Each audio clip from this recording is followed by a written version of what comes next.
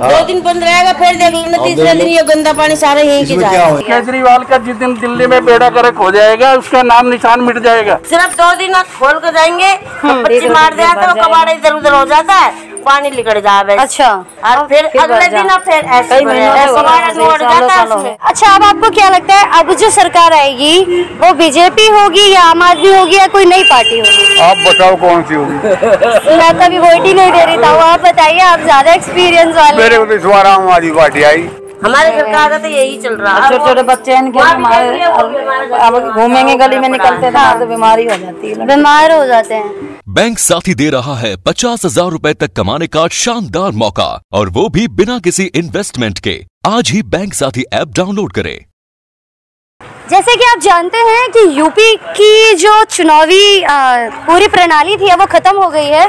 तो अब बारी है दिल्ली की। तो आज हम आए हैं राजेंद्र नगर विधानसभा के वार्ड नंबर 103 एन में और हम यहाँ पे जानेंगे लोगों से कि उनकी राय आने वाले चुनाव में क्या है और वो किसकी सरकार को इस बार देखना चाहते हैं। तो चलिए देखते हैं। सर यहाँ पे जो निगम पार्षद उनका नाम क्या है? उनका सुनीता कौशिक। तो सुनीता कौशिक वो आपके हिसाब से आपको क्या लगता है? वो काम करवा रही है? करवा रहे हैं? हैं पार्क में काम करा है और ये रोड बनवाया हमारा यहाँ से नीचे तक का। अच्छा यहाँ तक का ये जो जितना भी रोड है वो उन्होंने ही बनवाया है एटीएम से लेकर नीचे तक आपने कभी उन्हें यहाँ पे आते जाते देखा है? हाँ मतलब वो सर्वे के लिए आती है यहाँ पे? हैं, हैं। आती हैं। अच्छा उनका आ, मतलब आपको क्या लगता है अब जो आने वाली जो सरकार है अब जो चुनाव आने वाले हैं जैसे कि अगले महीने तो उसमें क्या वो दोबारा यहाँ की निगम पार्षद होंगी या नहीं? कोशिश पूरी है तो कोशिश पूरी है। हमारी सपोर्ट है। अच्छा आपको उनका सपोर्ट है मतलब आप उनकी टीम में हाँ? सीट है अच्छा यहाँ पे एस टी की सीट्स हैं जर्नल नहीं है। जनरल्स को नहीं है। तो फिर आपको क्या लगता है इस बार किसको मिलेगी? ये तो पता नहीं ये तो देखते हैं कैंडिडेट बहुत बढ़िया अच्छा चलिए एक ऑप्शन दें अगर। हाँ। आम आदमी वर्सेस बीजेपी तो आप किसको सपोर्ट करेंगे? BJP BJP? क्यों आम आदमी ने ऐसा क्या करा सर? बेड़ा गर्क कर दिया दिल्ली का बेड़ा गर्क कर दिया दिल्ली का। अच्छा। हाँ केजरीवाल ने बेड़ा गर्क कर दिया दिल्ली का। बेड़ा गर्क एमएलए हो गए माला माल। देखो हमारे रोड की हालत। जी। हमारे गाँव में सात साल के अंदर एक इंच रोड नहीं बनाया। अच्छा कुछ नहीं काम हुआ हाँ। एक इंच रोड बनाए सामने आए बात करें। हाँ। हम बताएँगे। अच्छा और निगम पाशा जी ने? उन्होंने तो कितनी गलियाँ बनवा दी है। पैसा ही नहीं दिया पच्चीस लाख रुपया। शीला दीक्षित के टाइम पे एक करोड़ रुपया मिलता था एक निगम पार्षद को। हाँ जी। इसने पच्चीस लाख रुपये ना दिए। तो अच्छा। क्या काम करेगा आदमी? मतलब कहीं ना कहीं गलती है वो सरकार की है निगम पार्षद जी अपना काम पूर्ण रूप से कर रहे हैं। पूरा अच्छा काम कर रहे हैं। अच्छे तरीके से काम कर रहे हाँ। हैं बिल्कुल। ये हमेशा ही भरा रहता है। ये हमेशा ऐसे ही भरा रहता है? हाँ जी। अच्छा आपके हिसाब से यहाँ पे जो निगम पार्षद हैं वो काम करवाती हैं? कुछ भी नहीं करवाते। कुछ नहीं करवाते? नहीं। अच्छा अब जो चुनाव आ रहे हैं जैसे आपको पता है अब दिल्ली में माहौल गर्म हो रहा है धीरे धीरे तो आपको क्या लगता है दोबारा उन्हें अपना निगम पार्षद देखेंगे?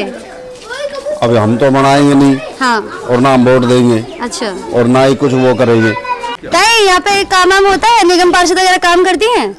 अरे ऐसा काम करे बता दिया काम कैसे बढ़िया हो रहा है? देख एक भरे पड़े हैं। और पानी बिल्कुल आता नहीं है। अच्छा। देख हमारे घर के आगे देख ले वो पानी आ रहा है गंदा पानी। अब बंद हुआ अब काम चालू होगा ना घर का फिर हाँ। पानी यही बहेगा मेरे घर के आगे अच्छा ये ऐसे ही भर जाता है? ऐसे भर जाता। सिर्फ़ दो दिन खपच्ची मार जाएँगे हाँ। तो कबाड़ा अलग हो जाएगा और पानी निकल जाए खुलगा खुलगा तीसरा दिन फिर भरा पावे आयो अच्छा मतलब वो काम करते हैं मतलब ऐसे ही काम करते हैं कि हर दूसरे दिन भर जावे? हर दूसरे दिन ही भरता है ये था ये खुद करवाया हमने भी अच्छा। क्यों पानी यहाँ तक भर जाए? ये जो सीवर है ना ये रहा? हाँ। ये घर के आ गए वहाँ से सारा पानी ये देख ले सीवर का ही आ रहा है। सारा सीवर का। लैट्रिन का पानी है ये। ये कौन सा पानी आ रहा है यहाँ पे मैम? सीवर का गंदा पानी। सीवर का गंदा मतलब हालात इस तरह के हैं कि पानी सीवर है वहाँ पे। और जो पानी आता है वो लोगों के घरों पे आता है यहाँ पे। हैं हमारे यहाँ जब देख लो, का क्या दिन चलता है यहाँ। अच्छा। माँ देख लो अब हम थोड़ा सा इसलिए बंद है कि काम पे जा रहे हैं सब। हाँ। घर का काम करेंगे शाम को जब देखो हालत शाम ये पैर नहीं टिका पानी पिला पूरा ऐसे भरा रहता है। अच्छा यहाँ पे जो मच्छरों वाली मशीन आती है वो आती है मच्छर वगैरह वाली? आती है गर्मी में कभी है, गली में गली में नहीं आती। गली में नहीं आती है? नहीं आती। यहाँ पे पार्क है आसपास में?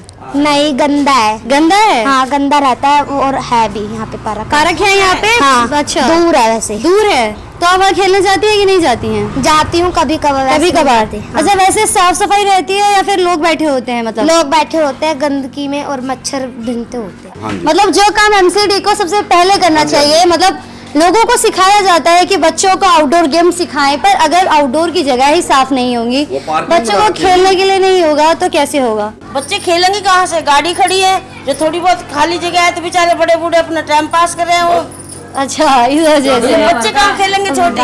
और बच्चे चले भी जाए छोटे बैठी है। बच्चे चले भी जाए छोटे मोटे तो उनको भगा दे के रोड़ा मचाए बच्चे तो। हाँ। तो बड़े बूढ़े इनको तो पसंद नहीं है। अच्छा इस वजह से। तब आप देख सकते हैं कि सब कहते हैं स्वच्छ भारत अच्छा भारत। और जागरूक बनो। केजरीवाल का केजरीवाल का भारत है जी ये। ये देखिए ये इस तरह का पानी पिएँगे तो लोग किस तरह से स्वच्छ रहेंगे और स्वस्थ रहेंगे। बताओ यहाँ के निगम पार्षद कौन है?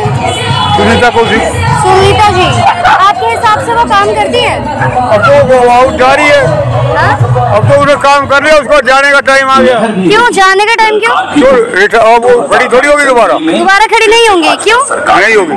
अच्छा जब वो कार्यकाल में थी काम कर रही थी क्या उन्होंने काम करा है अपने टाइम पे? साफ- यहाँ पे साफ़ सफ़ाई होता है डेली? हाँ होता है। और मतलब झाड़ू वाड़ू रोज लगता है? और कूड़ा वाला कूड़ा ले जाता है?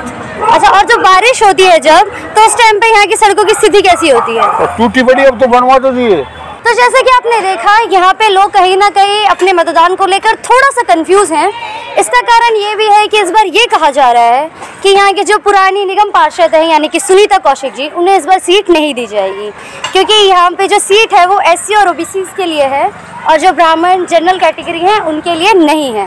साथ ही यहाँ पे हमने ये भी देखा कि यहाँ पे कहीं ना कहीं जो एरिया है, वो दो तीन गुटों में बैठा है। जहाँ पे कुछ लोगों का मानना है कि वो कार्य करती हैं, कुछ का मानना है कि वो कार्य नहीं करती हैं। और कुछ का कहना ये है कि जहाँ हमारे गाँव के लोग जाएँगे, जहाँ हमारे घर वाले जाएँगे, हमारा वोट भी उस तरफ़ जाएगा। तो आने वाले चुनाव में जो मत है, वो तो उनका अधिकार है, वो खुद ही जाने। मगर इस पूरे मामले में आपकी क्या राय है, हमें कमेंट करके ज़रूर बताएँ। वीडियो को ज़्यादा से ज़्यादा शेयर करें, लाइक करें। मैं प्रियांशी, कैमरामैन सुमित के साथ झलको दिल्ली।